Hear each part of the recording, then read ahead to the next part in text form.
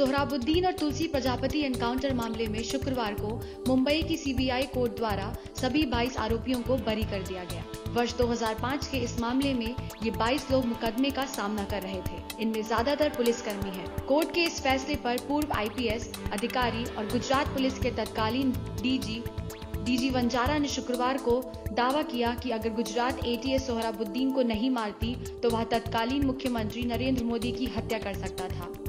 आज यह साबित हो गया है कि मैं और मेरी टीम सही थी। हम सच के साथ खड़े थे। इस एनकाउंटर केस में पूर्व आरोपी रहे वंजारा ने कहा कि यदि गुजरात पुलिस या मुठभेड़ न होती तो पाकिस्तान नरेंद्र मोदी की हत्या करने की साजिश में कामयाब हो जाता और गुजरात एक और कश्मीर बन जाता। वंजारा ने कहा, गुजरात, आंध्र प्रदेश और राजस्थान पुलिस को गुजरात की बीजेपी सरकार और केंद्र की कांग्रेस सरकार की राजनीतिक लड़ाई के बीच में बलि का बकरा बनाया गया था। उन्होंने कहा कि सीबीआई कोर्ट ने अपने फैसले में सभी 22 आरोपी पुलिस अधिकारियों को बरी किए जाना उस बात की पुष्टि करता है, जो मैं काफ़ी पहले से कहता आ रहा हूँ, कि इनमें से कोई भी एनकाउंटर राज्य द्वारा निर्धारित नहीं था।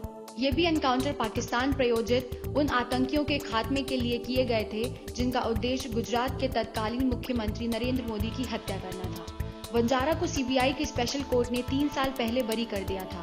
उन्होंने कहा कि राष्ट्र विरोधी तत्वों ने आतंकवादी समूहों की सहायता और ईमानदार पुलिस अधिकारियों को परेशान करने के लिए वास्तविक मुठभेड़ की घटनाओं को नकली में बदलने की कोशिश की थी। सब्सक्राइब करें हमारे YouTube चैनल को और हर अपडेट पाने के लिए बेल आइकन को दबाएँ।